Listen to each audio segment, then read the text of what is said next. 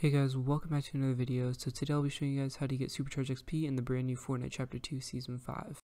So I've been making Supercharged XP videos for the past two seasons and it's actually not that much different from the previous seasons, but it actually is quite different in some ways as well.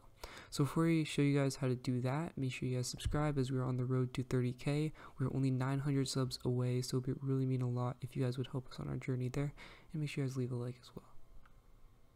So daily quests have actually changed quite a lot this season. So what you want to do is go to lobby, click on the new quests icon, and you'll see all of your XP quests and normal quests for the battle pass. So if you see the 10,000 XP quests that have a timer on them, um, these are the ones that you will want to be focusing on. So to get supercharged XP, you will have to not complete these, and if you do not complete them, it will give you the next day at 9 a.m. Eastern Time or whenever this timer runs out, it will give you the exact amount of XP, slightly less than the exact amount of XP that you would have gained from these challenges, and just put it into your supercharged XP bar. And basically, what you'll do is right when this timer ends, and as you can see, mine's on 12 minutes, so right at 9 a.m., it will reset. So once these reset, you'll get a supercharged XP bar, and you'll also be able to get more XP for common tasks like searching chests, searching ammo boxes, and eliminating players depending on how much supercharged XP that you have.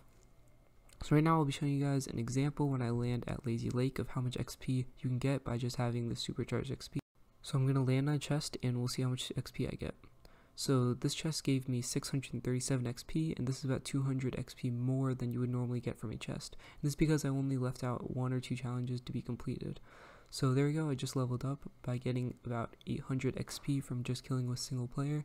So if you get high elimination games, this can really help you out and help you reach that goal. So as you guys can see on the bottom of my screen, there's also a lightning bolt icon, which is basically where the supercharged XP ends.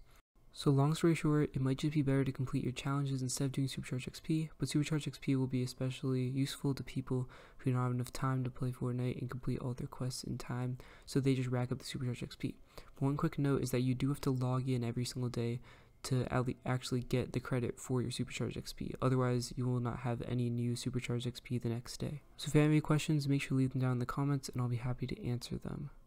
So that's the end of the video guys. Hopefully you enjoyed and I'll be seeing you guys in another one.